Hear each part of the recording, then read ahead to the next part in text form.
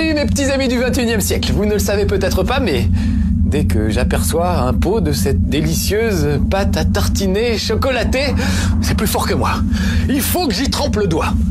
De la même manière, euh, quand je vois des figurines de Star Wars, c'est plus fort que moi. Faut que je les ramène chez moi. De la même manière, quand je tombe sur le costume de Sonic, c'est plus fort que moi. Faut que je l'enfile. Oh non, ça va pas recommencer, hein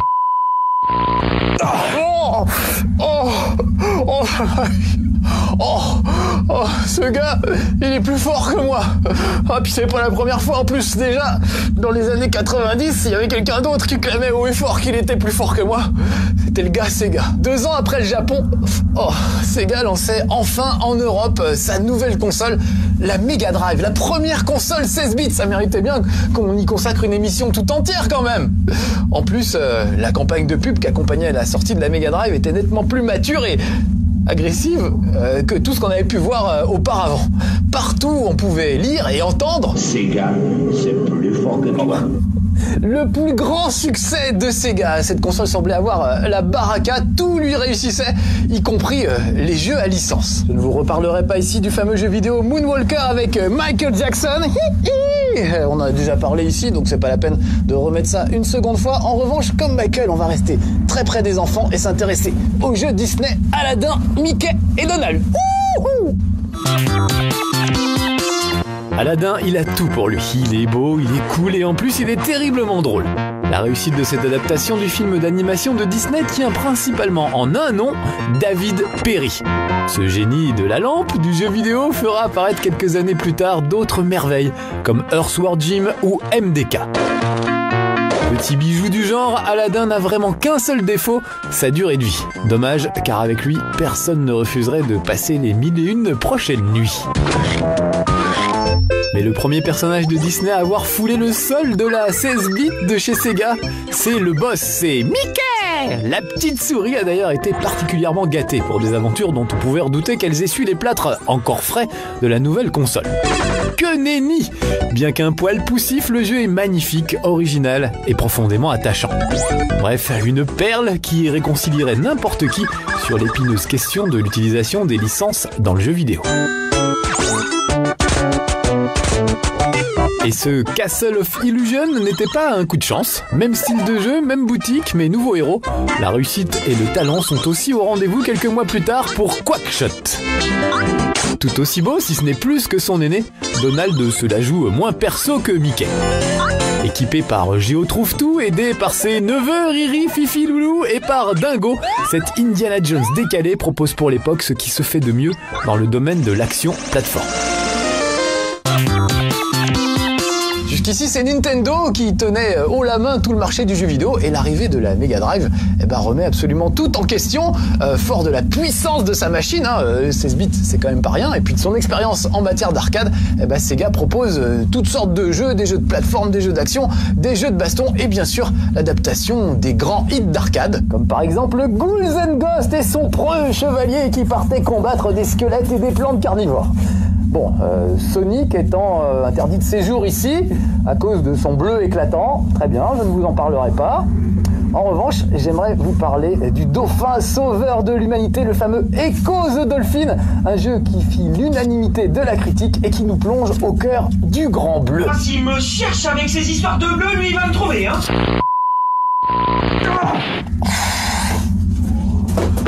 Si on peut plus rien dire. Allez, tout de suite, euh, Ghouls and.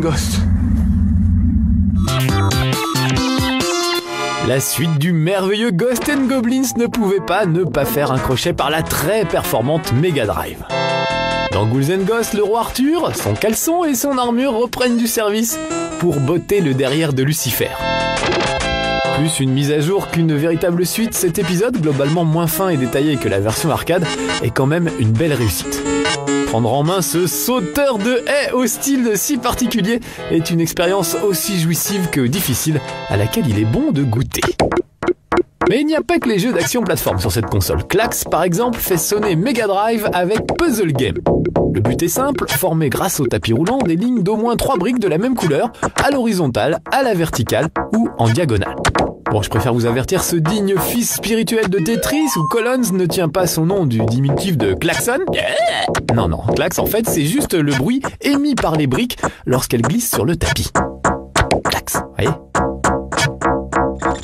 Puisque nous en sommes à varier les plaisirs, voici maintenant un shoot tout à fait culte et terriblement difficile.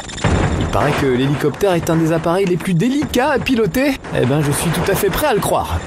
Côté histoire, toute situation rappelant la guerre du Golfe est fortuite, ou presque. Le président des USA vous demande d'aller calmer Saddam Hussein, euh, pardon, d'aller calmer le général Kilbaba, un dictateur du Golfe Persique. Accrocheur comme pas deux et novateur comme peu, ce jeu est juste un hit absolu. Toujours au rayon hit, voici Mortal Kombat. Assez poussif, les défauts de ce jeu sont nombreux, cependant pour trancher avec la série Street Fighter, très dessin animé, Mortal Kombat crée un style unique. La boucherie de salon bien saignante. Les animations et les personnages sont réalisés à partir de captations de vrais acteurs. La violence est crue et complètement assumée, et les combats proposent des fatalités incroyablement gore. On déteste ou on adore, aucun doute, c'est la marque des grands jeux. Si l'on met côte à côte Grand Jeu et Mega Drive, il est impossible de ne pas penser à Echo the Dolphin. Apparemment, aux antipodes de Mortal Kombat, les deux jeux ont cependant en commun leur originalité et leur innovation. Découvrir les fonds marins dans la peau du mammifère représente une sensation de liberté et d'immersion que le jeu vidéo n'avait encore jamais procuré. Finalement assez difficile et pas toujours très clair dans ses objectifs, Echo demeure quand même une expérience absolument unique et inoubliable.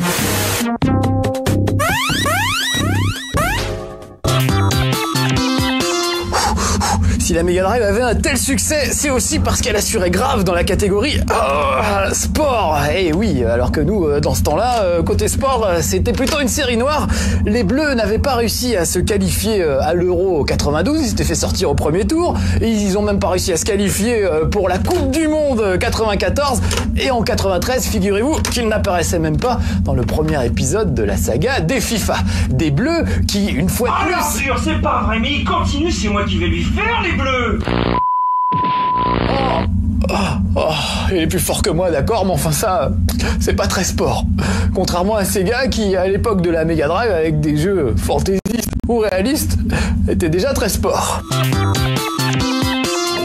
Bambin qui n'a pas usé ses genoux et ses coudes avec des petites voitures en les faisant rouler partout partout dans la maison, sur les murs, les canapés, les tables, sa petite sœur, etc. Micro Machine, le jeu vidéo est en fait inspiré d'une ligne de jouets pour enfants et il en a conservé tout l'esprit. Au volant de votre microbolide avec la cruauté d'un ado ou d'un prépubère, vous devez faire le maximum pour passer la ligne d'arrivée du petit circuit le premier. Absolument génial, surtout à plusieurs. Et puis les bambins grandissent et au lieu d'arracher les ailes des mouches, ils finissent par envoyer des baffes et des torgnoles à leurs petites sœurs, mais aussi à leurs copains. Fini les enfantillages des micro-machines, voici venu le temps de road rash, ou comment, pour gagner une course de moto, un bon coup de main, ou plutôt coup de poing, fait la différence. Des armes, des flics, des vaches différentes des flics, des voitures, la route est un terrain de jeu riche et fourni. Road était un défouloir simple et terriblement efficace. Voilà une révolution Bon évidemment hein, aujourd'hui ça paye pas de mine mais à l'époque nous avions là un jeu tout en 3D. Une révolution que je vous dis La version arcade de Virtua Racing est le premier jeu en 3D jamais créé. Il aura fallu deux ans pour l'adapter sur Mega Drive avec au final une cartouche bien plus chère que les autres. En effet, celle-ci contient le Sega Virtua Processor, une petite puce permettant d'afficher de la 3D alors que la console seule en était incapable. C'est un grand moment d'histoire que vous avez là sous les yeux. Pour terminer ce tour d'horizon sportif, nous allons presque autant nous lâcher que les personnages de NBA Jam. Ce jeu est un véritable hommage aux super-héros du réel, aux joueurs de basket extraterrestres de la NBA. Totalement délirant, fun et bougrement bien réalisé, il propose des affrontements endiablés en deux contre deux, dans lequel les règles sont quasi inexistantes et les coups spéciaux particulièrement improbables. Les fans de basket US jubilent, les autres se prennent à aimer ce sport, la magie de la Mega Drive opère. Malheureusement, le succès de la Mega Drive, appelée euh, Genesis aux États-Unis, va un petit peu tournebouler la tête de Sega qui va se lancer dans une course à l'accessoire ridicule, euh, avec des accessoires inutiles et souvent très chers en plus. Alors de 92 à 94, on va se taper euh, le multi-méga, le méga CD, la Mega Drive 2, le méga CD 2 et pour finir l'adaptateur 32X. Tout ça censé rendre la console encore plus performante. Le résultat, c'est surtout que les fans sont lassés de cette avalanche de gadgets stupides et perdent peu à peu confiance en Sega au profit de Nintendo. Et du coup, eh ben, ils bouderont la Saturn, la nouvelle console de Sega, à sa sortie. Au final, c'est malheureusement la génialissime Dreamcast qui fera les frais de tout ça. Euh, son échec forcera même Sega à abandonner définitivement la fabrication de consoles. Quel gâchis. N'empêche que, bah voilà, hein, Sega c'est peut-être plus fort que moi, mais euh, il faut bien reconnaître que Sega s'est fait avoir, comme un bleu. Oh, pas